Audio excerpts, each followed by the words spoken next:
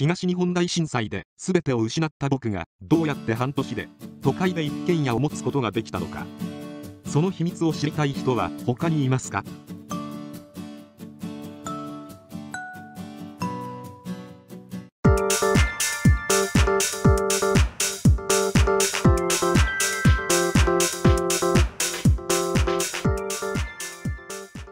名古屋グランパスがホームで横浜 F・ マリノスを3の1で下した。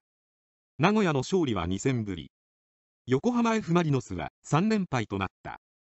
初先発した4月24日の新潟戦で存在感を見せて以降スタメン出場を続けるルーキーミッドフィルダー泉隆二がプロ初ゴールを決めた。前半33分にゴールキーパー飯倉大輝のファンブルを押し込んだフォワードシモビッチのゴールによって先制した名古屋は後半4分。左サイドからフォワード永井健介がクロスを上げると後半からシモビッチに代わって入っていたフォワード川又健吾がゴールキーパーと競り合う。ボールがミドルレンジにこぼれると泉が左足で無人のゴールに流し込んだ。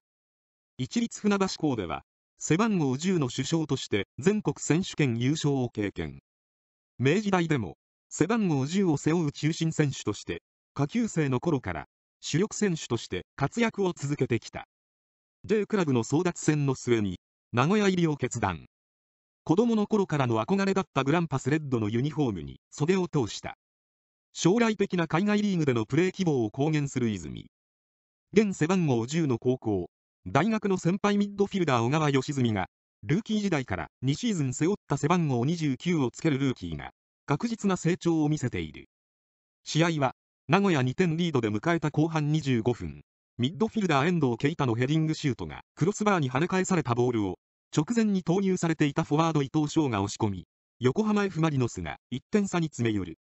しかし名古屋は同33分。自陣左でボールをカットした永井からカウンターを発動スピードに乗ったドリブルで敵陣に入るとクロスボールを川又が左足で合わせて加点。